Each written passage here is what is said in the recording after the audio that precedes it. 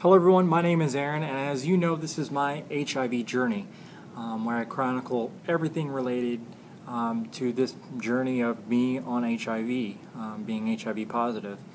So, there's something I wanted to talk about today, and that's grief, and also post traumatic stress that can be related. You know, many of you who are long term survivors of HIV um, and AIDS, you have experienced huge amounts of loss. You have lived through a time where um, HIV did mean uh, that you would die. Um, in the early 80s, uh, mid 80s, once a person became ill, they went to the ER, and, and many times um, they would die in just a matter of days after becoming ill. And you know, today we live in a time with um, the medications and the uh, combination therapies, uh, such as Atripla, Stribild, um, Complera, and so forth, that the life expectancy is greatly increased. And so people are not dying like they once were. But that doesn't mean that you, as a long term survivor, um, do not feel that pain, um, the pain of why are you still here and they're not. Um, the questions of, you know, what did I do to deserve to be here?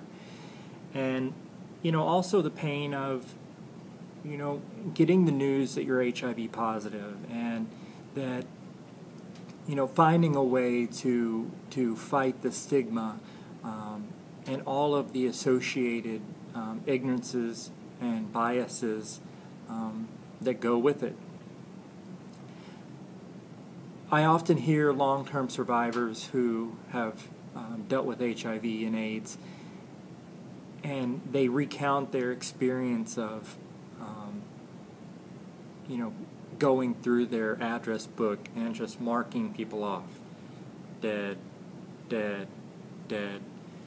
You would see a person walking down the street one day and they would be healthy and fine.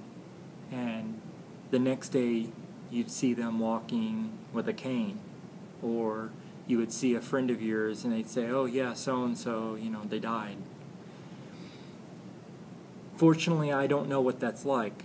Um, I do not know anybody who has died of an age related illness. I know people who've exhausted all medication regimens and most likely will die as a result um, of a weakened and diminished immune system. Um, but it definitely shows where we are in progression with HIV. Do you ever feel as if you have been forgotten about as a long term survivor? That the pain that we um, endured has kind of taken a back burner and that the anger and, and fear has kind of calmed down. Is that good? Is it bad? I I would like to hear from you about you know what you think in regards to that. And, and what do you do to address the post traumatic stress, the grieving, the guilt, the blame?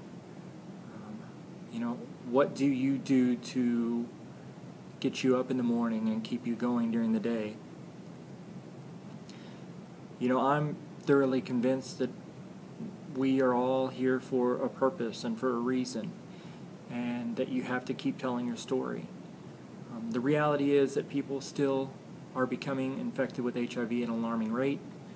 People are dying um, from AIDS related illnesses, and globally, AIDS is still very much a health crisis and a pandemic. Um, I hope all of you are well.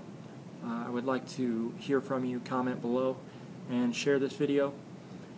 Um, I hope all of you are being compliant with your medications, and until my next video, do something positive.